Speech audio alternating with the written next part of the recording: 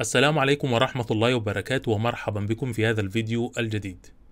توضيح بسيط بخصوص الفيديو اللي نشرناه أمس عن مقابلة السيسي مع قناة سي بي إس الأمريكية. الفضيحة ما طلعتش فقط إنه السيسي اتسأل كم أعداد السجناء السياسيين أو مواجهة السيسي بأرقام السجناء السياسيين. الفضيحة طلعت بجلاجل يا جماعة.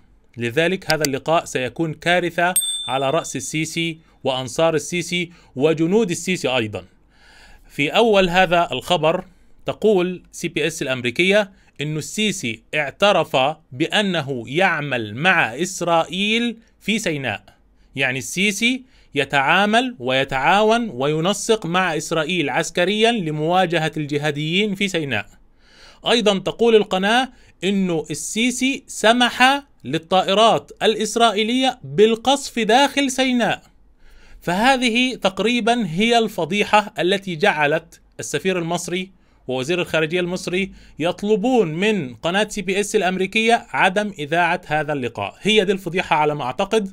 آه وأنا عارف إن السيسي صهيوني ومعروف يعني يتكلم قبل كده عن إنه لن يسمح باستهداف إسرائيل من مصر وهذا الكلام لكن هذا كلام دبلوماسي. هذا كلام لاسترضاء إسرائيل. ممكن يقال عنه إنه رجل دولة لا يريد ابدا أن يدخل في صراعات مع دول آه مجاورة. طبعا إسرائيل كيان آه لقيط. لكن في هذه المرة يعترف السيسي مباشرة بالتنسيق مع إسرائيل عسكريا في سيناء في أرض مصرية.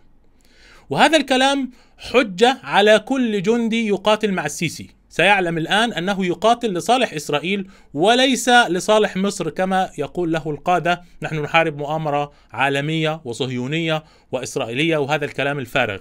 أيضا أحمد موسى والجماعة الغيطي وهؤلاء لن يستطيعوا بعد الآن أن يقولوا علينا مؤامرة إسرائيلية أبدا. مش هيجيبوا اسم إسرائيل على لسانهم مطلقا. فالفضيحة وسبب عدم إذاعة اللقاء هو أنه السيسي اعترف بالتعاون المباشر مع إسرائيل. ومرة أخرى إحنا عارفين الكلام ده بس لما يعترف السيسي بنفسه مباشرة بدون كلام دبلوماسي فهذه فضيحة. أيضا هناك مسألة أخرى تتعلق بشكل السيسي في هذا اللقاء. السيسي يا جماعة كان بينزل عرق كأنه حنفية. يعني السيسي آه شكله فعلا كان خائف مش متعود على هذه الجلسات. السيسي متعود يقول أنت دارس الكلام ده؟ أنت جبت الكلام ده منين؟ كم الميزانية يا أستاذ؟ لا ده أنا عاوز شفته؟ لكن النهاردة السيسي قاعد زي التلميذ قاعد بيتسأل وبيجاوب. هو ده السيسي يا جماعة؟ الفرعون. تخيلوا هذا هو شكل الفرعون عندما يجلس ويسأل ويكون في أمريكا. أما في مصر فهو يتجبر ويقتل وينهى ويأمر. شوفوا شكله عامل إزاي. شوفوا شكل السيسي يا جماعة. هي دي حقيقة الطواغيت العرب. كلهم أتحداهم أن يجلسوا أمام شخص مستقل يسألهم. كلهم جبناء. وهذه هي الحقيقة. على كل حال يوم 7 يناير هنشوف الفضيحة الكبرى لعبد الفتاح السيسي الذي فضح أمام العالم الآن لأنه يطالب بوقف إذاعة هذا البرنامج، كل العالم الآن يقرأ عن هذا الموضوع وأيضا سيفضح أمام الجنود وأمام الإعلام وأمام المطبلطية والراقصات.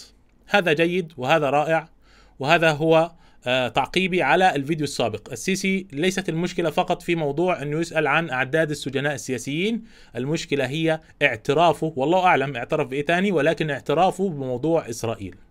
شكرا لكم والسلام عليكم ورحمة الله وبركاته.